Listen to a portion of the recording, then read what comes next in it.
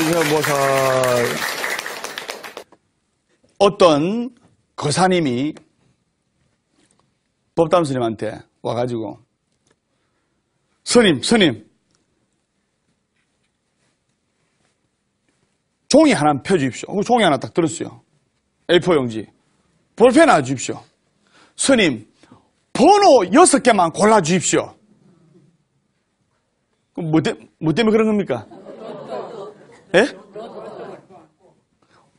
어젯밤 제가 꿈을, 꿈을 꿨는데요. 예. 법담스님께서 번호 찍어주면 내가 1등 걸린 것 같은 예감이 됩니다.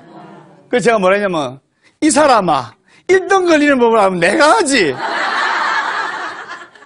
부처님 전에 행복하게, 행복한 인- 인생을 살기 위해서는 욕심으로 꽉 찬 기도는 쉽게 이루어지지 않습니다.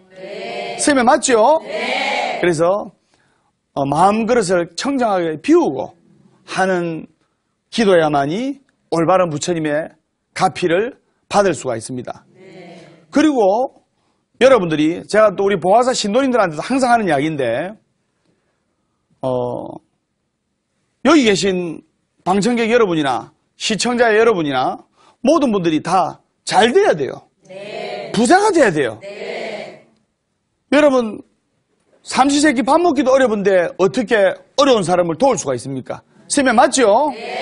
여러분들이 열심히 기도하고 또 무상사 TV 부처님, BTN 디지털 부처님 또 기- 본문 듣고 이래가지고 열심히 기도하고 노력해가지고 잘 살고 또 사업 성취가 이루고 이러면 또 어려운 사람들 위해서 기부도 탁탁 할 수 있고 그렇지 않습니까? 세면 맞죠? 그래서 어, 마음을 비우고 기도하되 어, 욕심을 버리고 열심히 기도하면 부처님의 한량없는 가피가 있을 거라 소승이 확신합니다. 그리고 여러분들이 어, 힘들고 괴롭고 어려운 일이 닥쳤을 때 불안해하지 말고 우려하지 말고 초조하지 말고 괜찮아 잘 될 거야 이 한마디가 여러분들의 마음가짐을 바꾸고 어, 이걸 소리파동이라는데 소리파동 내가 내가 밝고 힘차고 그리고 건강한 에너지를 뿜어내면 그것이 지금은 눈에 안 띄더라도 그 소리가 소리의 에너지가 나한테로 돌아오는 법입니다. 잘못될 거야. 이런 불안과 초조의 파동을 내면은 말이 씨가 된단 말이죠. 법담 스님은 말대로 돼요. 말대로. 말대로 술술 풀리고 있어요. 예. 이것을 더 여러분들도 술술 풀리라 소식을 확신합니다. 그래서 말 한마디라도 긍정과 밝음과 힘찬 에너지가 되는 소리의 파동, 소리의 말을 낸내 말입니다. 무슨 말인지 아시겠지? 그러면 어, 행복한 인생을 살려면은 어, 밝음과 긍정의 어, 에너지의 파동을 일으켜야 됩니다. 무슨 말인지 아시겠죠?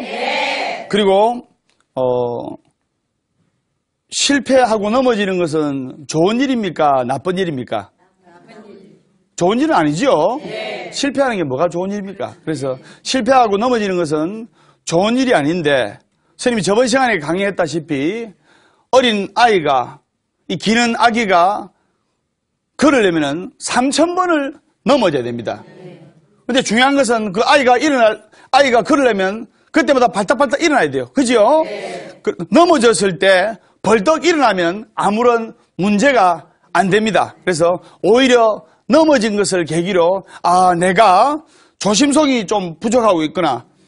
내가 조심성이 좀 부족하구나. 좀 더 깨어 있어야 되겠다. 실패한 것을 거울 삼아 이렇게 어, 자기 자신을 돌아보면 실패는 성공의 어머니의 말처럼 어, 이 걸림돌을 디딤돌로 만들어야 돼요. 맞죠? 그래서 인생을 살아가다 보면 반드시 여러분 앞에 걸림돌이 있습니다. 그 걸림돌을 열심히 기도해가지고 열심히 기도해가지고 행복을 가는 디딤돌로 연말을 해서 만들어야 돼요. 오히려 그냥 승승장구하는 사람은 하루아침에 추락하는 수가 있습니다. 그래서 행복한 인생을 살기 위해서는 이 걸림돌을 여러분 살아가면서 금전적인 걸림돌, 자식 때문에 걸림돌, 또 가족 때문에 걸림돌 이런 어려운 부분이 많지 않습니까? 이 걸림돌을 열심히 기도해가지고 행복의 디딤돌로 만드시기를 바랍니다. 아시겠죠? 예. 그래서 오늘 어, 보호사 법담 스님의 술술 풀리는 소원성취 이야기 어, 끝으로 이 한 가지를 깨닫는 순간 여러분들은 행복의 지름길로 가게 되어 있습니다. 뭐냐? 여러분들이 생각하고 여러분들이 걱정하는 만큼 세상 사람들은 여러분들 자신에게 별 관심이 없어요. 그런데 많은 사람들이 내가 이렇게 행동했을 때 저 사람이 이렇게 생각하면 어떻게 하나? 내가 이렇게 했을 때 저 사람이 나를 이렇게 생각하면 어떻게 하나? 그런 걱정 때문에 제대로 당당한 자신감이 있는 인생을 잘 못 살 겁니다. 그래서 내가 상상하고 걱정하는 만큼 세상 사람은 나에게 관심이 없고 스님 맞죠? 그리고 여러분들이 이 세상의 모든 사람들을 다 좋아합니까? 좋아하는 사람이 있고 싫어하는 사람도 있죠? 보사님, 가족들도 좋아하는, 더 좋아하는 가족 있고 좀 덜 좋아하는 가족 있지 않습니까?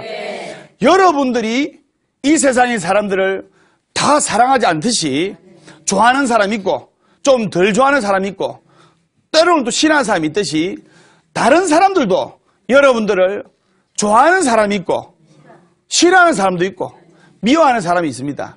거기에 의식하지 말고 그냥 남에게 피해를 주지 않고 남에게 적당한 이로움을 준다면 여러분들이 정정당당하게 열심히 인생을 법단세전 당당하게 행복하게 자신감 있게 살아나가시면 됩니다. 법담스님의 술술 풀리는 소원성취 이야기 행복한 인생 여섯 번째 여기서 강의 마치도록 하겠습니다. 관세보살